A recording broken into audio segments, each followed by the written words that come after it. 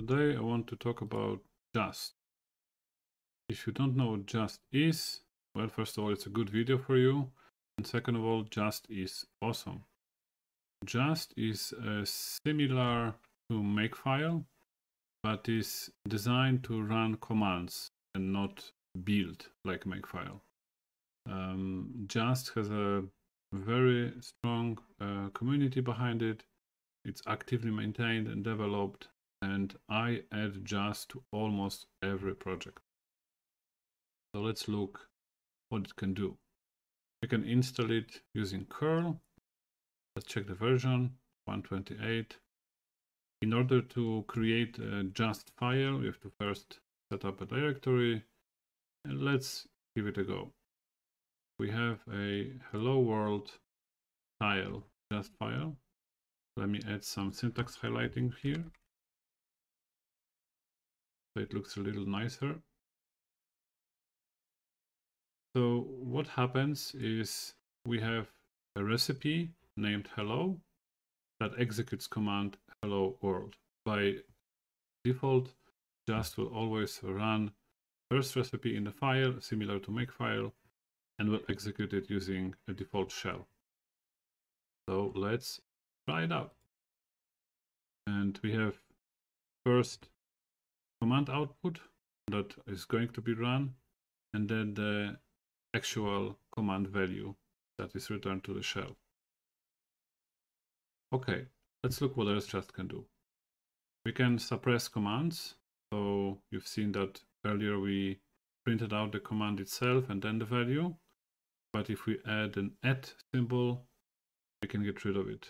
So the suppress command recipe only executed the echo command and the full command outputted both uh, the command itself and the value. Uh, just can also fail early. So we can add this recipe that is going to try and list a non-existing folder. And when we execute it, you can see just returned code 2 and the subsequent command was not executed. Recipes can have dependencies. Similar to make again, we can have dependency recipe and dependent. When we run a dependent recipe, the first one that is being executed is this one, and then the dependent. So this enables us to put together string of recipes that will be executed in sequence. We can also run multiple recipes from the command line. So in this case, we just run just and then the name of the recipe and they are also run in order. So far, we have seen that running just without any parameters is going to simply execute the first recipe, but you can influence it by adding a special kind of recipe called default. And in this case, we are going to add it and run just itself with the dash dash list parameter. What this is going to do when we run just, it will list all the recipes. And you can see here that on the right hand side of the recipe, uh, there is a text um, taken from the comment. So if you put comments on top of your recipes, you can actually see what they are for. All right, let's see how recipes look in more real life scenario. This is one of my projects. Uh, it's called Crossplane in a Box. Uh, if you happen to be interested in Crossplane on Cloud Native, you can go ahead and read the blog here. But otherwise, um, this is uh, just a um, introduction to just file. When we run this just file, you can see that there are various recipes. They are all um, with comments, so I know what they do. Uh, let's take a look at the file itself. So just file here, uh, first of all, we have settings. We can influence how recipes are executed or how just file works by specifying various settings. Export enables us to export all the variables as environmental variables, so they are later available in scripts, for example, that you might be calling from just. Or in this case, we also specify which shell and with which parameters should execute our recipes, unless specified otherwise, because each recipe can have its own execution environment. Uh, for now, we are passing dash u and dash c flags dash c flag is interesting. It enables us um, to execute commands that are specified as text. Basically, this block uh, is interesting. We're going to talk about this later. Uh, Just has a lot of built-in functions. Uh, here, for example, we are using function just file directory and appending to it another folder. So when I use it in um, actual recipes, like here, for example, I'm, call, I'm actually referencing variable apps uh, that happen to have a value of wherever the just file is located slash uh, apps directory. That's quite useful. There's a lot more um, functions that you can use, but for now we are just using this. Um, another function that is really useful is detecting operating system. As you can see here, we have uh, we try to detect operating system. If it's Linux, we essentially assign to this variable a different command for copying, browsing, and replacing. Uh, so for instance, uh, I remember that it was somewhere here.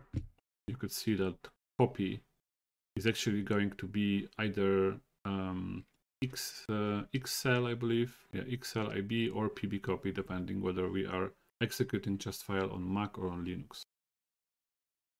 Finally, recipes can have parameters. You can see here, we are setting up kind cluster, and then the cluster name is a parameter that has a default value of control plane. We can overwrite it when we call the recipe.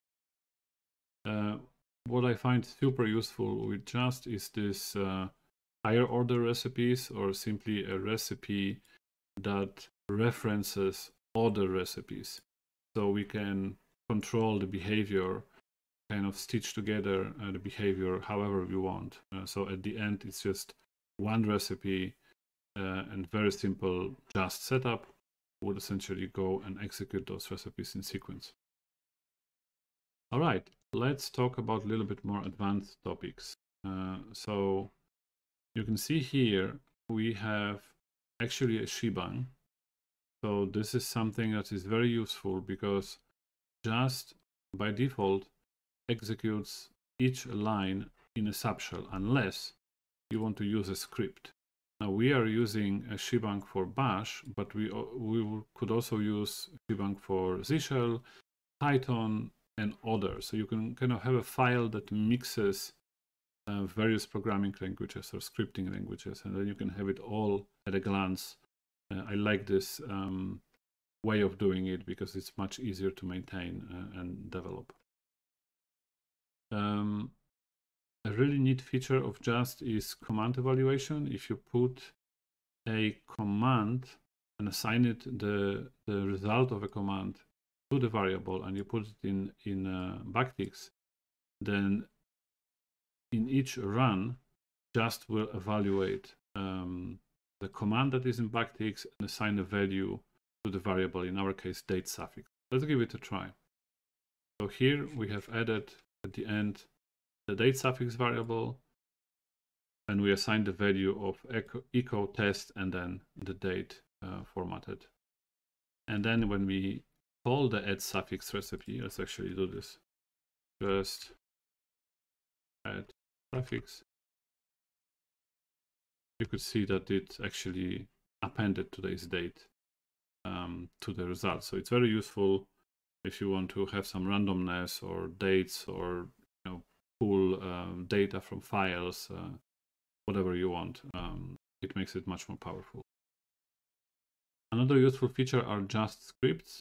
So if you, on top of your just file, if you add this shebang, then just will recognize this as a script and you can actually run it using just and then you can reference here a specific recipe. This is taken, this is my alias. I'm using it to create a, again, crossplane environment. And this has been really, really useful because I can independently create those aliases and um, I can work with it uh, like this. Uh, another cool feature is an interactive mode. I cannot show it here because this environment doesn't have FZF installed. But if you have FZF installed, you can actually use this dash dash choose flag and then just will show all the recipes available within the file that you're pointing to and then you will be able to execute them. Right, so that's it. We have barely scratched the surface of Just. It's an amazing project. As I said before, I add Just file to almost all my projects. Uh, it's almost, you can think of it as having an executable README file. So as you go on and develop your project and you find yourself needing to deploy something or test, uh, you typically would put it into a README.